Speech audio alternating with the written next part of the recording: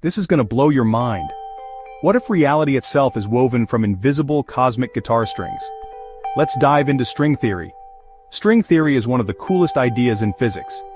Instead of tiny particles, it says that everything is made of unimaginably small strings, so tiny you could never see them even with the best microscope.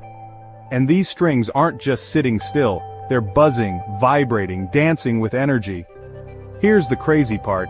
Just like different notes on a guitar come from different vibrations, the strings vibrations create everything in our universe.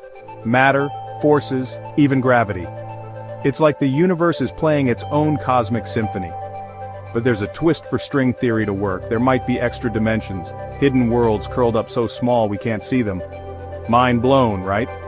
So is string theory true? Scientists are still searching for proof. But if it is, our universe is way stranger and cooler than we ever imagined. Would you want to hear the universe's secret music? Please like, share, and subscribe to the Unsolved Universe.